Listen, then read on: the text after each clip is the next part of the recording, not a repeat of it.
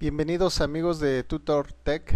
En esta ocasión te muestro qué tan fácil es preparar una memoria USB, cargarla con Windows 7 para que puedas botear desde la memoria como si estuvieras utilizando el DVD de instalación. Y vamos a ver cómo se hace. Utilizamos la herramienta que Microsoft te proporciona cuando haces una compra del sistema operativo de manera digital. Te dan esta herramienta y es gratis, todo el mundo lo puede descargar. Se llama Windows 7 USB DVD Download Tool y la descargas. Abajo vas a encontrar los links, relativamente es pequeño el archivo. Puedes correrlo desde Windows Vista, desde Windows XP y obviamente desde Windows 7. Es compatible. Una vez que lo has descargado, solo le das doble clic para ejecutarlo e instalar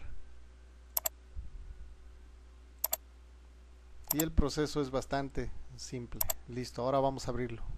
Necesitas también haber descargado una imagen ISO del sistema operativo o también puedes crear una imagen de un DVD de instalación. Voy a navegar para encontrar mi imagen y voy a utilizar Windows. Voy a utilizar la, la versión Home Premium de 32 bits. Aquí está la imagen. Después voy a darle Next o siguiente en este paso tú puedes escoger si quemar directamente tu imagen en un DVD o cargarla en una memoria USB, que ese es nuestro caso. Elegimos, asegúrate de escoger la memoria USB. Usualmente te vas a dar cuenta por el tamaño en gigas, esta memoria es de 4 y es la única que detecta. Si hubiera otras memorias, pues podrías ahí saber por el tamaño. Y le das empezar a copiar tomará su tiempo porque formatea la unidad y por lo tanto debes asegurarte de no tener nada importante. Es útil y muy práctica esta herramienta porque nos servirá para reparar máquinas, especialmente cuando no tienen la unidad de DVD o CD.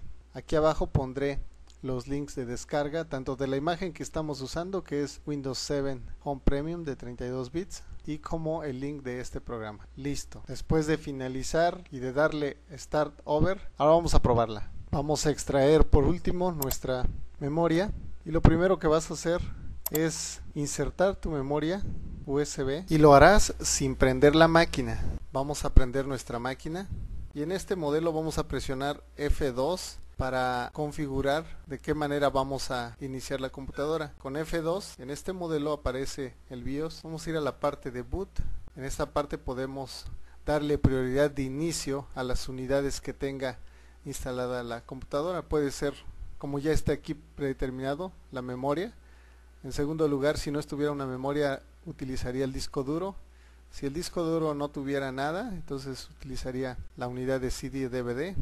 Y bueno, en nuestro caso ya está la prioridad de inicio, que debe ser la memoria a data. Entonces, no hacemos mucho, solo salimos. En automático nuestra computadora detectará qué sistema operativo está en la memoria USB y empezará a correrlo como estás observando. En otro tutorial enseñaremos cómo instalar Windows 7 desde una memoria USB, hacerlo paso a paso. Si te sirvió el tutorial, agradecería unos dedos arriba y que te suscribas al canal. Nos vemos en la próxima.